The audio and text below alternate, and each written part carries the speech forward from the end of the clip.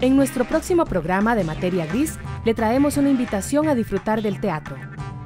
Nos acercaremos a la obra Burócratas Todos, una crítica a la burocracia costarricense que se encuentra de gira por varias comunidades del país. Conversamos con Luis Arguedas, escritor de esta obra, y con su director Fabián Sales, quienes nos adentran en los laberintos burocráticos que propone esta obra. Materia Gris, martes 7 de la noche, domingo 5 de la tarde.